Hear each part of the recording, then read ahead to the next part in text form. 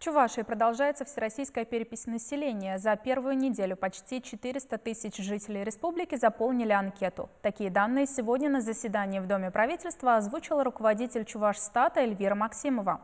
Напомню, принять участие в переписи можно тремя способами. Дождаться, когда к вам домой придет переписчик, посетить стационарный участок, всего их в республике 370, или самостоятельно заполнить анкету на портале госуслуги.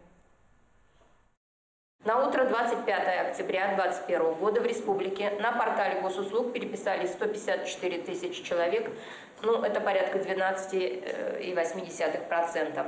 Среди субъектов вы видите, что Мордовия, Мариэл значительно выше доля принявших участие в онлайн-переписи.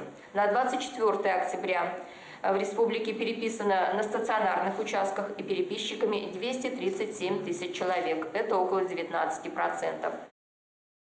Отмечу, участникам всероссийского учета необходимо ответить на 33 вопроса, 23 общих, пол, возраст, образование, семейный статус, национальность, еще 10 касаются жилищных условий. В среднем на заполнение анкеты вы потратите не больше 25 минут.